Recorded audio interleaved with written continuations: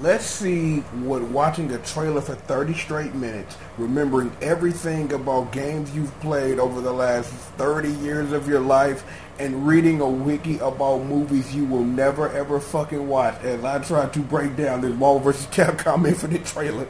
Because let's just say this before I hit play on this damn trailer and try to tell you what the fuck is going on. This shit is nuts! This shit is nuts. I'm like, I am excited. So I'm going to quit the bullshit. I'm finna hit play on this trailer, dog, and we are going to try to break this down, man. I'm, I'm gonna try my damnedest to try to show you what's going on here. So I'm gonna let the little intro play, let it do all that.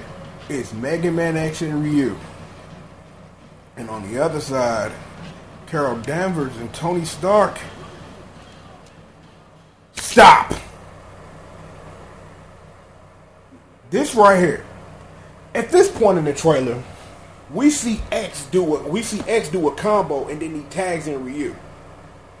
This is very reminiscent of the quick switch mechanic that was supposed to be in Marvel 3 but got left on the cutting room floor.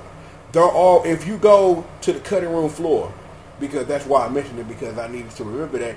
There are there are there are like codes and ways to hack that back into the PS3 version so you can see how that works. The thing is, with our first little piece of I read this on a wiki trying to make sense of how this game, you know, flows into Marvel shit, is that one of the stones that you will not be allowed to use as a playable character is the Space Stone. Because the Space Stone is represented by this quick switch mechanic, which is prevalent all throughout the trailer because if you notice, anytime someone uses the quick switch mechanic, they glow blue guess what color the space stone is? See? Making sense of this already. I guess I can continue now. Up and here's the thing. Stop again. There were two switches, a launcher, and then a super. There is no way, even with this being linked to the Space Stone, there's no way that that don't cost meter. Whether that's a full meter, because that would make sense because that's how much variable air raid cost in Tatsunoko. And if you don't know what a variable air raid is, is that during an air combo, you can quest, uh, it's what, quarter circle forward, and the partner button does a variable air raid, and what it does is that it tags in the other character. Great for one of my teams with being Mabu Jun and of course Zero, but We'll get more into that later. So back to the trailer now. Iron Man with this combo. What you see, so and stop again.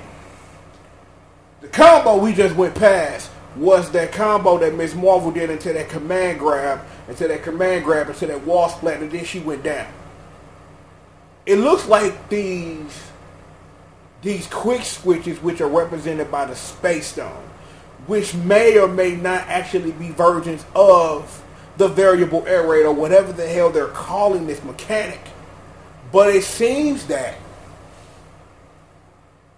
characters may possibly be slightly invincible during these quick switch tags.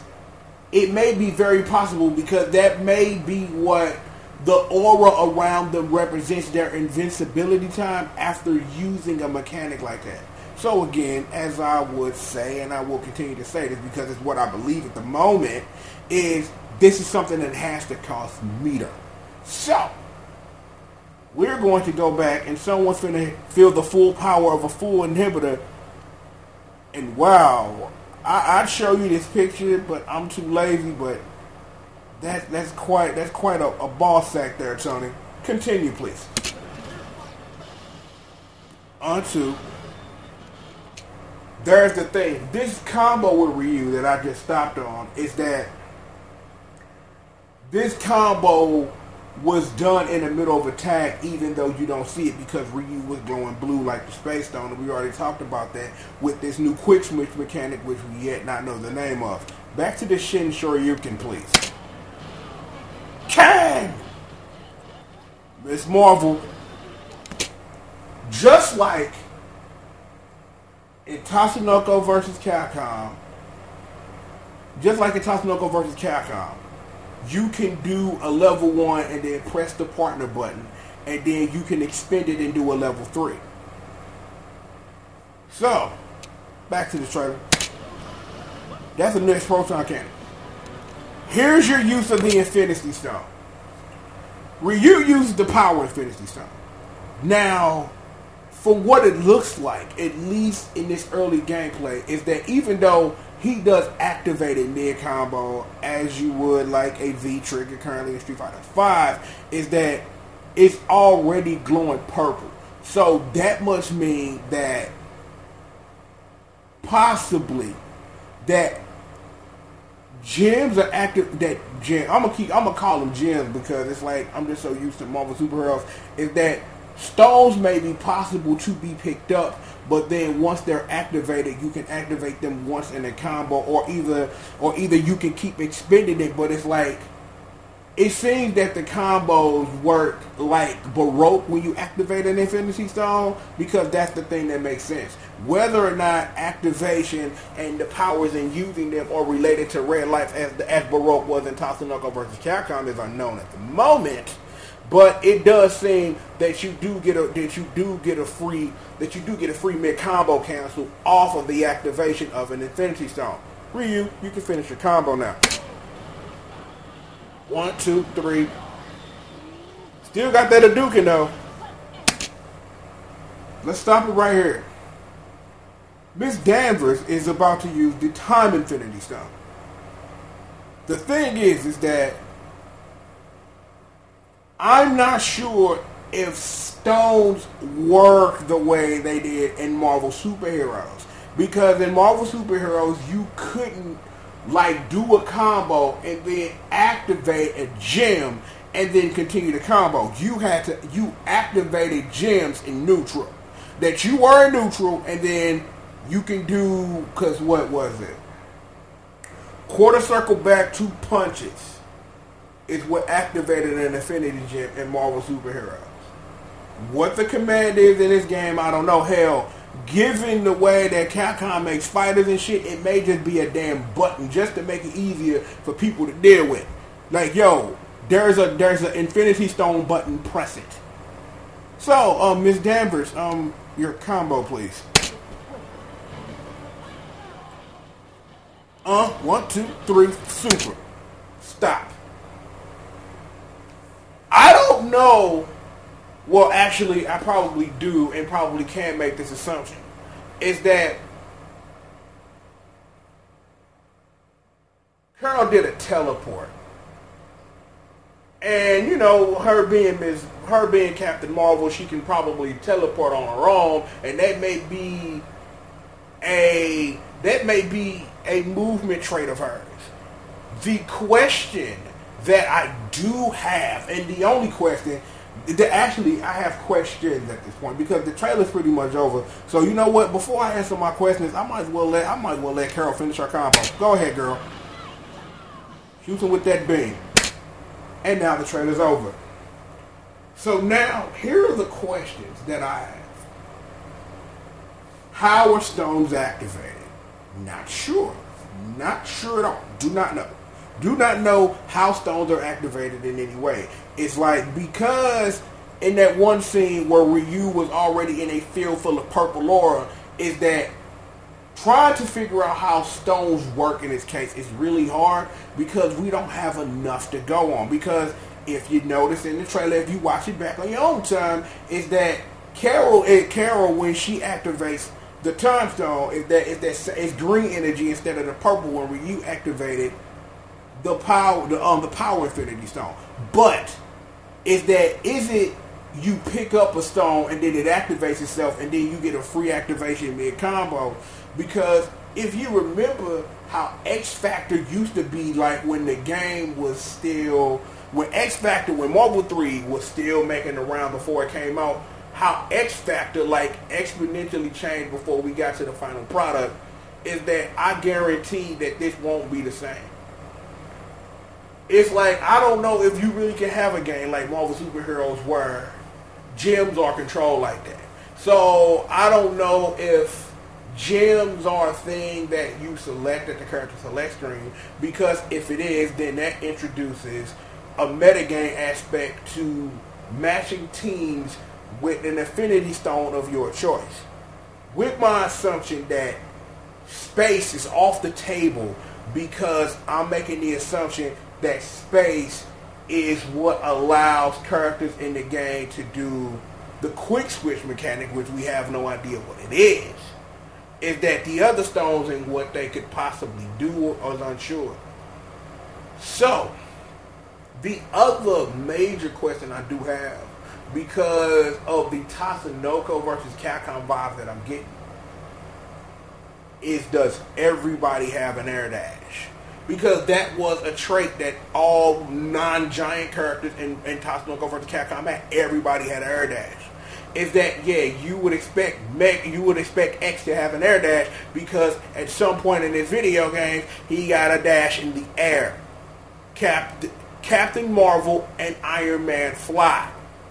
Ryu didn't do one thing in the damn air, so it's unknown at the moment if air dashing is a universal mechanic. But given the nuts that this game is going, I really think that air dashing as a universal mechanic is a thing that makes sense. And it's something that should be used. And given that as well is that the roster that they choose will have, but it's like, we're talking about talking about for the Capcom, like Alex had a damn air dash in that game. So if they you that I was sitting up here thinking like, well, you could make decisions on now. Nah, you ain't got to make no decision. Give everybody an air dash because this game is so nuts. You're probably going to want to do that. I'm feeling the game. It's just that simple. It's that, like I said earlier in the many of videos I've put out in the past 24 hours, is that a reboot makes sense. A reboot makes sense given what what where Marvel has come from, where Capcom wants to go, and revisiting where the Marvel Cinematic Universe currently is when it deals with the Infinity Stones is that you give it a way to try to throw it back to the classics of, of, of everything preceding Marvel 2, including Marvel superheroes, where this game is getting a lot of its inference from. This is going to be a fun ride to sit up here and watch this happen. I'm like, I'm probably still gonna go dark. I'm not gonna be paying all my stupid motherfuckers no attention, but I am going to be paying close attention and and this game and I will be getting very, very, very intimate as I try to sit up here and try to figure out what's what until somebody gives the word about what's really good. So the TLDR of this whole video is the following. Is you is air dashing the universal mechanic? Is the space tone is the space is the space stone off the table given the game's quick switch mechanic? How does activation of stones work within the confines of this game? And how much of TVC how much of TVC's legacy is going to be in this game that they're going to build off of? Because you have to assume at this point if it's two on two, you have to wonder are they really gonna go four button with it? Are they really gonna go low, medium, high? Are they gonna go low, medium, high, and a partner button, or will there be a stone activation button, or will you activate it with all four buttons like X Factor? I'm very, very, very unsure about all of these questions, but I am interested to understand where this game wishes to go. I think that's about this trailer and all I can glean from it. Is that this game looks amazing. And it's like this is the game in pre whatever the fuck you want to call this. But this game is going to be amazing. So this is everything that I could glean from this trailer. That I've been on the mic for 15 minutes for a trailer that lasts a total of a minute and four. So that really goes to tell you like how much thought went into this before I fucking hit record. That should tell you that all the stuff I went and read about the Infinity Stones and shit. I'm not. I ain't watched the Marvel Cinematic movie and probably never will because I don't fucking care enough.